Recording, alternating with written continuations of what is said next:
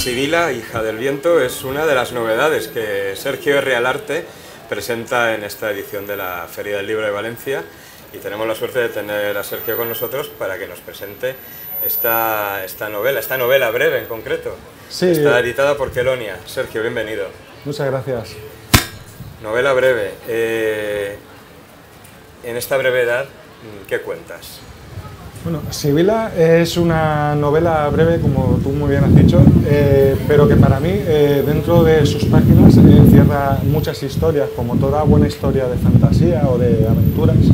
Eh, Sibila marca un personaje que no es nada típico, porque es una mujer y además es una voladora.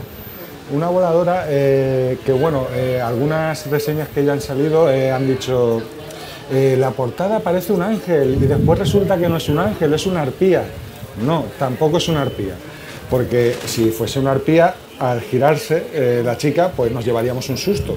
Y no, no es así, ella, es hermosa, no da susto, para nada. Y, bueno, eh, es una raza de voladores donde sí tienen alas, pero también tienen garras, no son ángeles, son criaturas fantásticas pero tampoco son arpías. Eh, entonces, eh, es una sociedad que vive en unas cumbres al norte del mundo de Aru, donde eh, han permanecido constantemente alejados de los vientos de renovación del resto del mundo. Entonces, es una sociedad bárbara, primitiva, donde los hombres son los guerreros y las mujeres se dedican a la recolección y a cuidar la casa. ¿vale? Eh, ¿Qué sucede? Que Sibila eh, es diferente. Sibila nace para ser una guerrera. Entonces, eh, ya en la primera escena nos la encontramos con la de la guisa que sale aquí en la portada, sin un hada, bastante torturada, bastante maltrecha. Y bueno, y asistimos a una banda de buitres dándose un festín con sus despojos.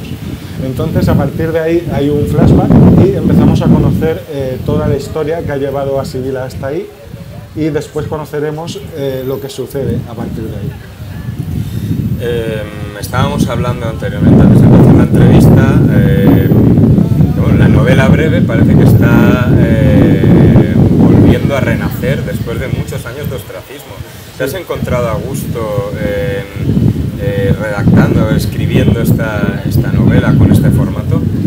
Sí, muy a gusto porque yo creo que la novela breve eh, te permite centrarte más en algún aspecto eh, de los que igual en otra novela se diluiría un poquito más.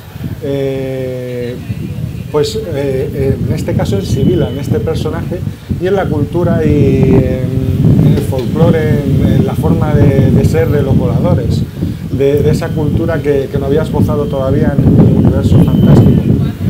Entonces, eh, yo creo que la novela breve da un espacio para llegar más directo, eh, permite un formato además eh, que se acopla al bolsillo, un precio económico adecuado a estos tiempos de crisis y, bueno, yo creo que sí es un formato muy válido para estos tiempos en especial.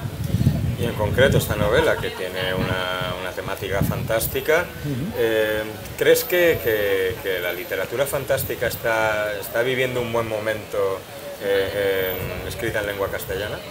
Sí, yo creo que sí es. Eh, tenemos a, Martin, el, más claro ejemplo, con Canción de Hielo y Fuego o la serie que se llama Juego de Tronos. Tenemos también eh, a Rothfuss con El nombre del viento, El temor de un hombre sabio.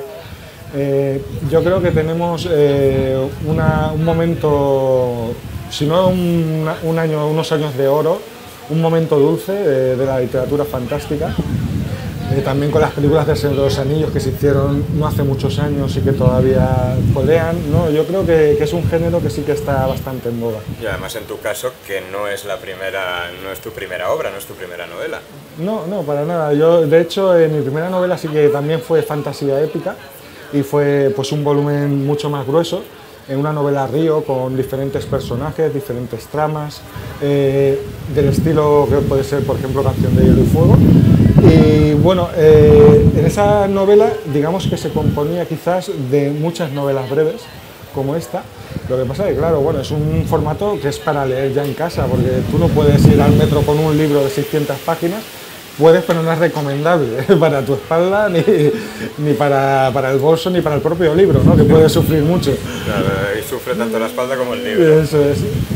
Pues eh, nos quedamos con esta recomendación con Sibila, hija del viento de Sergio R. Alarte, una novela breve, temática fantástica que estamos seguros que hará disfrutar a todos los amantes del género. Sergio R. Alarte, muchas gracias por, por haber aceptado nuestra invitación. Muchas gracias a vosotros y espero que os animéis a leer Kelonia Minificción. Muchas gracias.